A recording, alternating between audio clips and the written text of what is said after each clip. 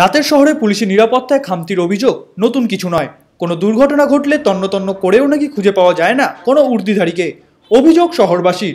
অভিযোগটা আরও জোরদার হয় যখন পার্ক স্ট্রিট বা ব্রেবন রোডে ধর্ষণের মতন ঘটনা ঘটে আর তা জানতেও পারে না। এই শহরে রাতে টহল দেওয়া লালবাজারের বেতনভোগীরা। আর তা কেন হয়? মধ্যরাতে একবার বেরোলেই পরিষ্কার ধরা পড়ে সেই ছবি। বিশেষ করে শহরের পুলিশ কিয়সগুলোর অবস্থাটা দেখলে আপনিও রীতিমতো চমকে উঠবেন।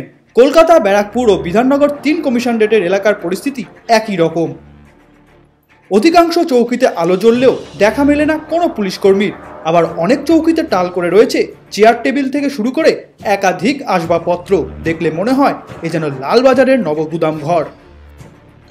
বিধাননগর কমিশনরেটের আওতায় থাকা আরও একটি গুরুত্বপূর্ণ ক্রসিং হলো সল্টলেকের করুণাময়ী চত্বর। রাত যখন দুটো ছুঁই ছুঁই, তখন সেখানেও কোনো পুলিশকে দেখা গেল না টহল দিতে। আলো বন্ধ অবস্থাতে মিলল আরও একটি কিয়স্ক শহরের অন্যতম গুরুত্বপূর্ণ মোড়গুলির মধ্যে অন্যতম ডানলপ ক্রসিং। ঘড়িতে যখন রাত আড়াইটে, তখন সেখানে দেখা মিলল না কোনো পুলিশ কর্মীকে। তবে ক্যামেরায় ধরা পড়ল দুটি কিয়স্কের ছবি। মজার বিষয়, দুটির একটিতেও জ্বলছে না আলো, নেই কোনো পুলিশ কর্মী। ইএম বাইপাসের ধারে পাটুলি থানা এলাকা থেকে শুরু করে একের পর এক কিয়স্ক, অধিকাংশ চৌকি খালি।